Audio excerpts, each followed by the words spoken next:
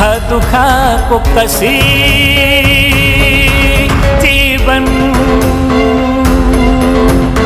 ममताको न्यानो वाचल सुख दुःखको कसी जीवन ममताको न्यानो आचल भाग्य लेख्ने विधाताको मसी बन्यो कालो बादल कालो बादल। अचानो झै छिया छिया बुझ्नेको नै मन छैन। दोसाधमा अल्छ्यो जीवन किनाराको डुङ्गो छैन लथालिङ्ग मडारिन्छ जथाभावी वर्णिन्छ मनभित्र घुम्सिरहन्छ यो कालो बादल। मित्रनुंसिरहस यो कालोपाद कालोत्पाद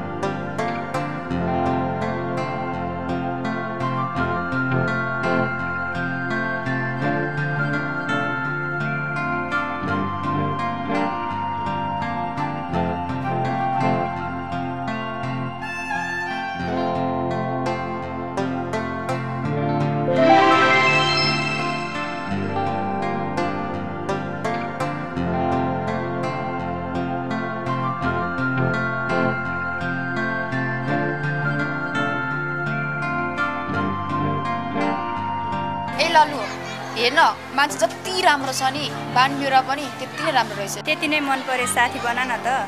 साथी मात्र किन? म त जीवन साथी नै बनाउँथेँ नि। लभ पऱ्यो कि क्या हो?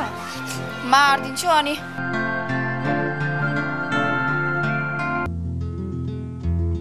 Uh, today we discuss about capitalist economy and future of capitalist economy. आज चाहिँ हामी पुँजीवादी अर्थव्यवस्था र त्यसका विशेषताहरू पढ्छौँ।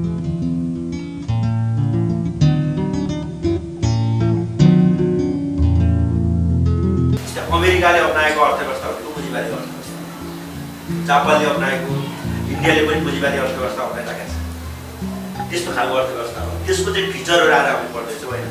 त्यसको मेन फिचर चाहिँ एउटा चाहिँ यो राइट टु प्राइभेट प्रोपर्टिज त्यो एउटा प्राइभेट सेक्टरको जस्तै निजी सम्पत्तिहरू राख्न पाउने त्यसमा अधिकार हुन्छ। त्यहाँ चाहिँ कन्ज्युमर अथवा उपभोक्ता नै सर्वे सर्वा हुन्छ अथवा उपभोक्ता नै सबभन्दा ठुलो किङ भनेको सबभन्दा ठुलो भन्न खोजेको सबभन्दा ठुलो भनेको राजा भन्न खोजेको ऊ शक्तिशाली हुन्छ। त्यो मार्केट कसरी चलाउने भन्ने कुरा चाहिँ कन्ज्युमरको हातमा हुन्छ। रिक्स भने के? जोखिम। जोखिम चाहिँ के हुन्छ? त्यहाँ नियन्त्रण हुन्छ। रिक्स कसलाई हुन्छ? गभर्नरलाई हुन्छ कि कसलाई हुन्छ? प्रड्युसरलाई हुन्छ।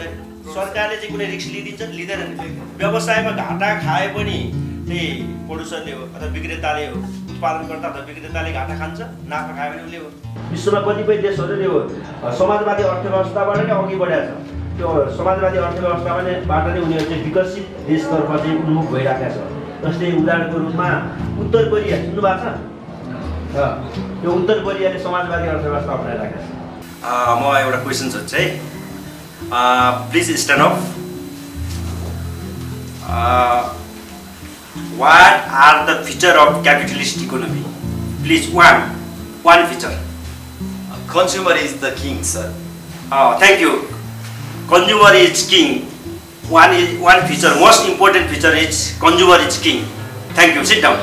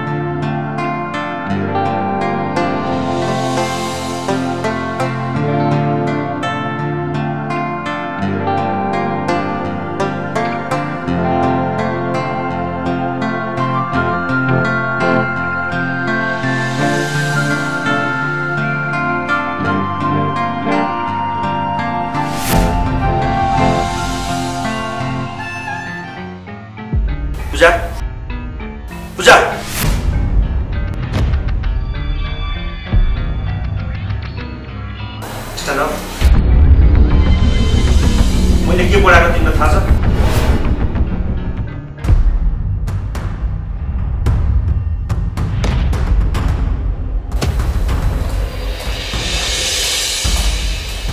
सरी सर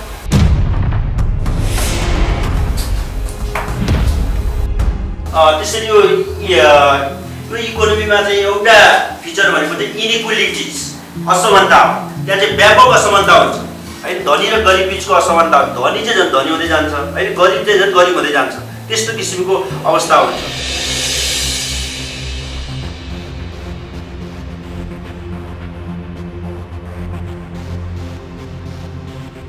आमा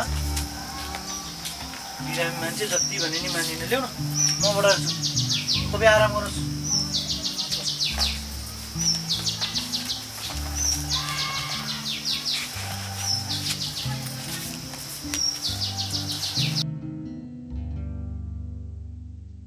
होइन त्यो नि स्टोरीलाई हाम्रो याद आउँदो रहेछ। एकचोटि दाइलाई फोन लगा त बाबु।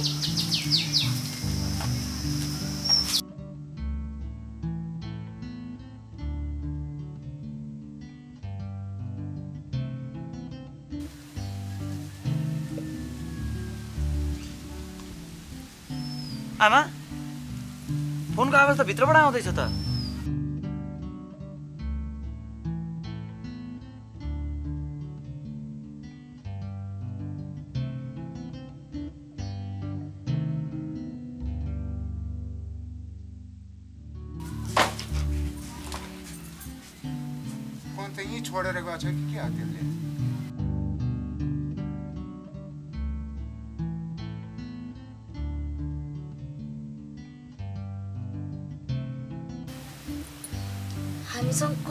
रिस उठेको रहेछ त्यसलाई।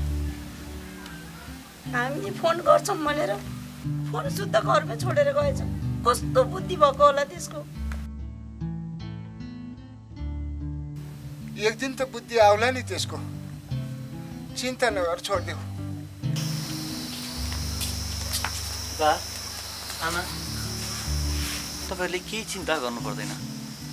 दाई कहिले गलत बाटो हिँड्न सक्दैन। एक दिन अवश्य फर्केर आउनेछ। तपाईँहरू केही चिन्ता नगर्नुहोस्। म खोजेर लिएर आउँछु दाईलाई। एउटाले रिसको सुरमा घरै छोडेर गयो। अब तँ पनि छोडेर जाने भन्छस्? पर्दैन कहीँ पनि जानलाई। त जानु पर्दैन छोरा। त्यसले एक दिन हन्दार खाएर उसको आफ्नो चेत खुल्छ अनि बल्ल आफै फर्किन्छ।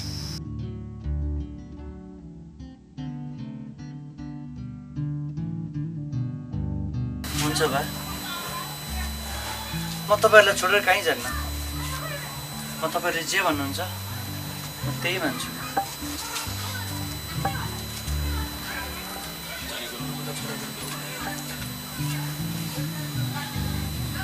आजको क्लास त क्या बोरिङ भयो यार। मेरो त पढाइमा ध्यानै गएन भने। हिजो आज तपाईँलाई के भएको छ पूजाजी? लेक्चर त राम्रै थियो त अनि। खै के भएछ यसलाई? यसको त पुरै ह्याबिट नै चेन्ज भएछ। के भएको छ र मलाई? यस्तो केही त भएको छैन। तँसँग बोल्न नि पहिला कोही हिम्मतै गर्थेन। तर अझै तिमीसँग भेट भएपछि चाहिँ उसको ह्याबिट नै पुरै चेन्ज भएछ। भनेपछि मलाई भेटेपछि पूजाजीलाई गुड भाइस परेछ होइन त। छ। कति राम्रो ठ्याक्कै मैले पनि त्यही भन्न लागेको थिएँ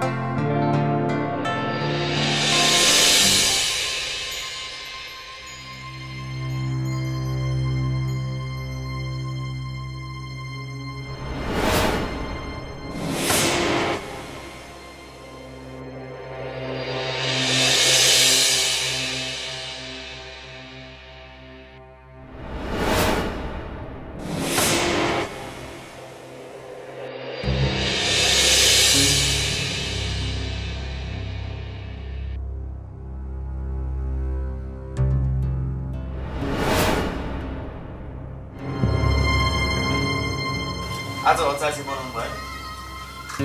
अब तँलाई बेगर भन्दाखेरि ठुल्ठुलो कुरो गर्छस्? मैले सक्ने यस्तै हो। मिठो खानालाई बुहारी भित्राउनु पर्छ अब म बुढो हड्डी जहिले पनि घोटिरहनु पर्यो होइन त?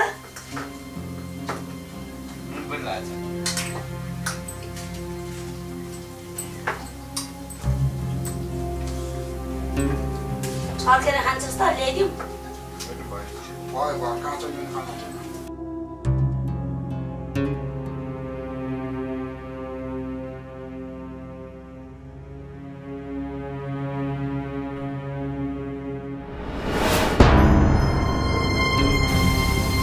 बुढो त्यो जेठोले किन यस्तो गरे होला है? त्यसले साह्रै माया मार्यो। त्यसकै पिरले खान मन पनि लाग्दैन। यो बुढो ज्यान त्यसमाथि पनि रोगी। यसरी खाना नखाइ नखाइ कति दिन धान्न सकिन्छ र? होइन हामीले त्यसलाई के नै भनेको थियौँ र त्यस्तो नराम्रो। त्यो बिहे गर भने त हो। घरै छोडेर जानुपर्ने त थिएन नि त्यसले। होइन मोबाइल चाहिँ कहाँ हँ? खै? सानो छन्जर मर्लान् भन्ने डर ठुलो भएपछि मार्लान् भन्ने डर बाह्र छोरा तेह्र नाति बुढा गौरो काँधे माथि भने यस्तै रहेछ बुढी सुतौँ अब रात पनि छिप्पिसकेको छ अब निन्द्रा लागे पो सुत्नु निन्द्रै लाग्दैन निन्द्रा लागेन भनेर हुन्छ त अब तँलाई जस्तो पिर्छ मलाई पनि त्यस्तै पिर्छ अब हामीलाई निन्द्रा लागेन भनेर कसलाई भन्दै जाने सुत यस्तै हो अब तेरो छोरो यहाँ निन्द्रा लागेन भनेर पिर गरेर खुर्रेर कुदेर आउँदैन क्यारे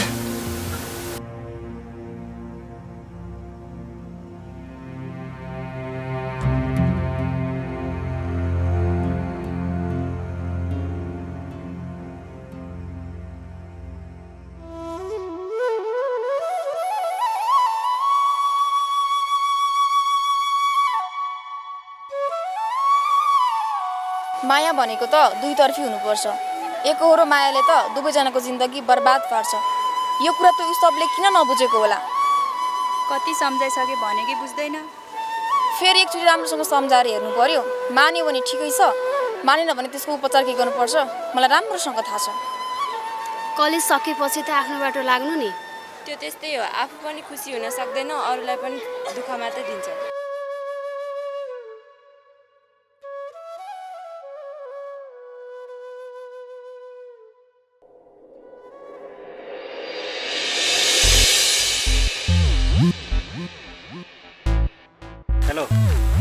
हाई म तिम्रो कलेजको सिनियर स्टुडेन्ट उत्सव तपाईँलाई भेटेर खुसी लाग्यो। के हो?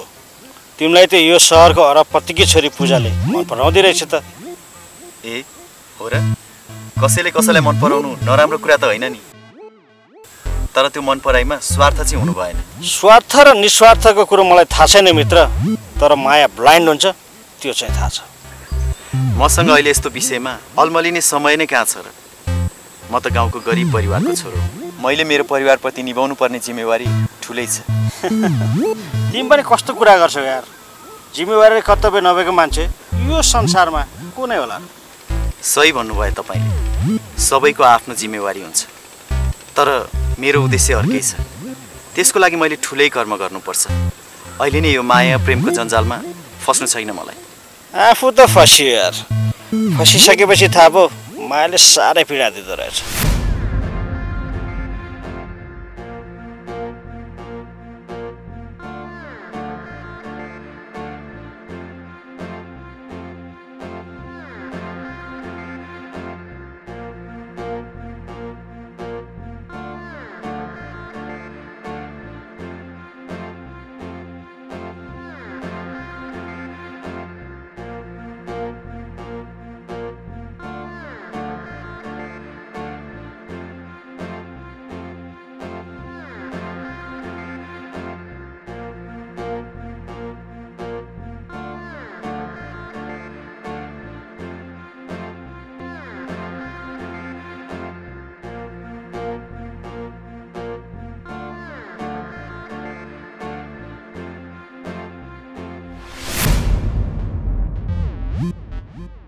We are friends. मैले गर्नुपर्ने केही सहयोग छ भने साथी सम्झेर नचिचाइकन भन्नु है ओके थ्याङ्क यू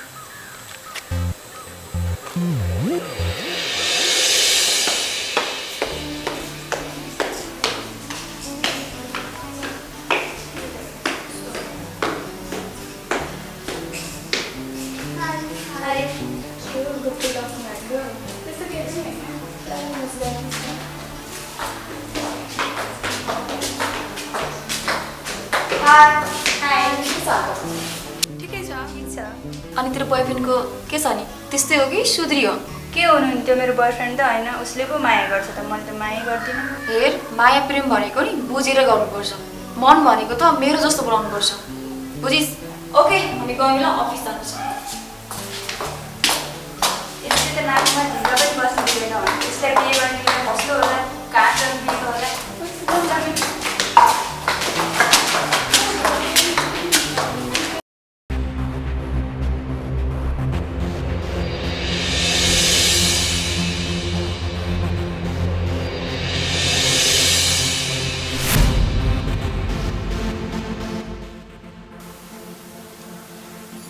टोलाएर बस्नुभएको फेरि त्यही अजयलाई सम्झेर टोलाउनु भएको होला होइन उसले त हाम्रो माया नलागेर छोडेर गयो अब कति चिन्ता लिनुहुन्छ खाना खानुहोस् तैँले भने जस्तो सजिलो छ त्यसरी बिर्सिन सकिन्छ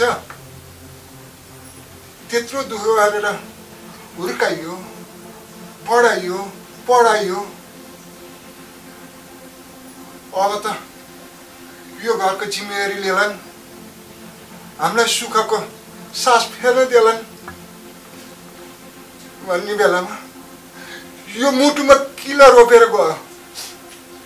नरुनुहोस् बा म दाइलाई जसरी भए पनि खोजेर लिएर आउँछु। र दाइलाई सबै कुरा भन्छु। म तपाईँहरूको आँखामा आँसु कहिले बग्न दिने छैन बा।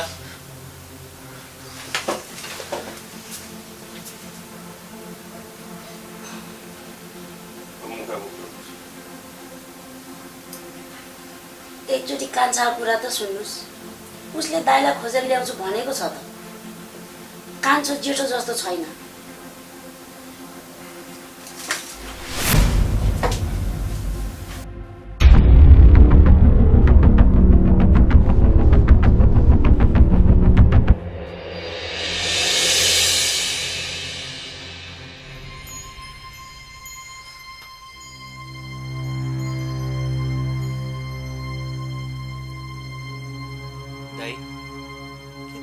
तैँले हामीलाई साँच्चै माया मारेको हो त यी बुढा भएका बा आमा र मेरो याद आएन है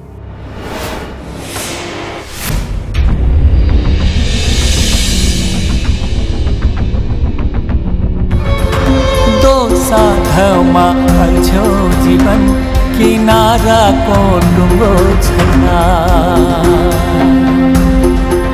लथालिङ्ग मडरिन्छ